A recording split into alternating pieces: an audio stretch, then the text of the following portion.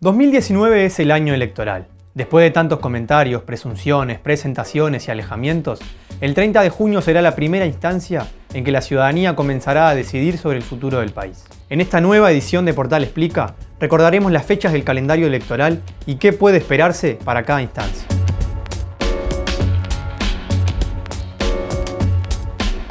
El proceso comenzará con las elecciones internas del domingo 30 de junio, las cuales no son obligatorias, y allí se elegirá quién será el candidato de cada partido para las elecciones nacionales, tomando como opciones a todos los precandidatos que se fueron postulando.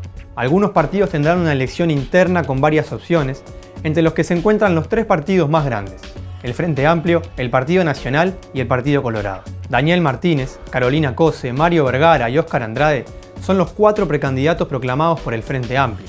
Allí si bien la mayoría de las encuestas dan como favorito al intendente de Montevideo, un último estudio de opción consultores reflejó que la ministra de Industria tiene la misma intención de voto. Mientras tanto, en el Partido Nacional están Luis Lacalle Pou, Jorge Larrañaga, Verónica Alonso, Enrique Antía, Juan Sartori y Carlos Yafiliola. Allí, Lacalle Pou es el favorito con considerable distancia sobre el resto de los precandidatos. En el Partido Colorado, Ernesto Talvi y José Amorín Valle son los precandidatos ya proclamados. Igualmente, Julio María Sanguinetti aún no descartó presentarse como precandidato y en su momento Talvi señaló que el expresidente se está mostrando como precandidato y se va a presentar. Por otro lado, hay un grupo de partidos en donde la elección interna no determinará candidaturas a la presidencia porque tienen una única presentación. En esta línea están la Alternativa y el Partido de la Gente, con Pablo Mieres y Edgardo Novica a la cabeza. Por tanto, los precandidatos de estos partidos, al igual que en Unidad Popular, el Partido Digital, entre otros, están enfocados en las elecciones nacionales, que serán el 27 de octubre. Para esa fecha, las diversas encuestas reflejan resultados distintos y aún no es posible determinar quién saldrá mejor parado. Lo que sí es casi seguro es que tendremos balotaje, ya que ningún estudio vislumbra que un partido obtenga más del 50% de los votos.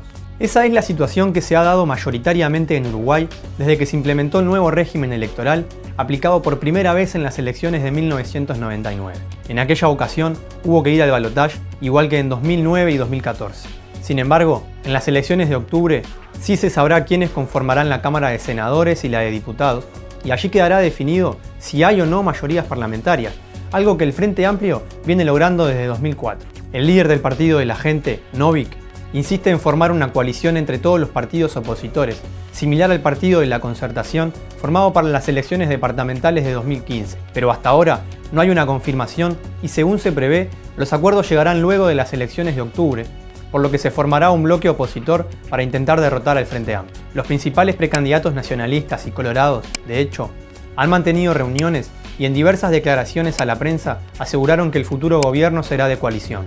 Así las cosas, el domingo 24 de noviembre será el balotaje. Habrá que ver cómo quedan conformadas las fórmulas presidenciales, pero todas las encuestas apuntan a que ese día los uruguayos tendrán que decidir entre Luis Lacalle Pou y Daniel Martínez.